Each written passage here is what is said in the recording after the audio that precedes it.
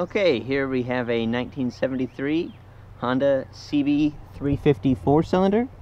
This bike has been mechanically restored with the points being done, the valves, a complete carburetor rebuild, the front brake has been rebuilt as well. The bodywork, however, is original with the original rip-free Honda branded seat on there. Just that lustrous metal flake paint job from Honda, it's just fantastic. That metal flake in with the crimson red, it's fantastic. All of the chrome is very bright and polished. This bike runs, rides, and shifts very smoothly through all of the gears. All of the lights are working. It doesn't smoke out of the exhaust or leak any fluids. It's certainly set to go for quite some time. Having just over 13,000 miles on the original engine, this bike has a great life ahead of it. Let's go ahead and fire it up and see how it sounds. Thank you.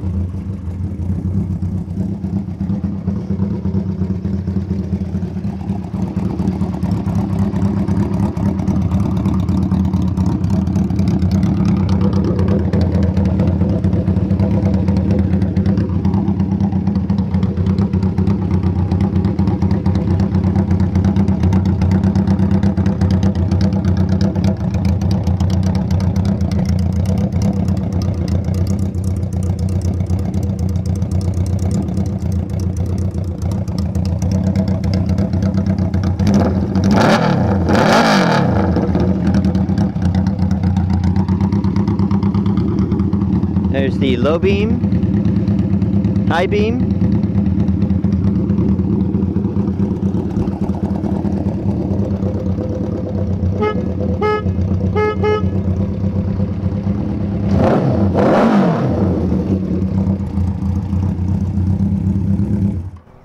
This bike is just fantastic. Don't hesitate to ask any questions or provide a few comments. Thanks for watching.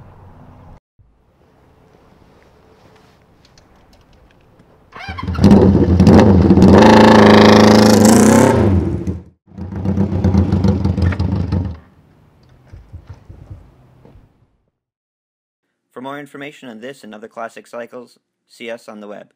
Thanks.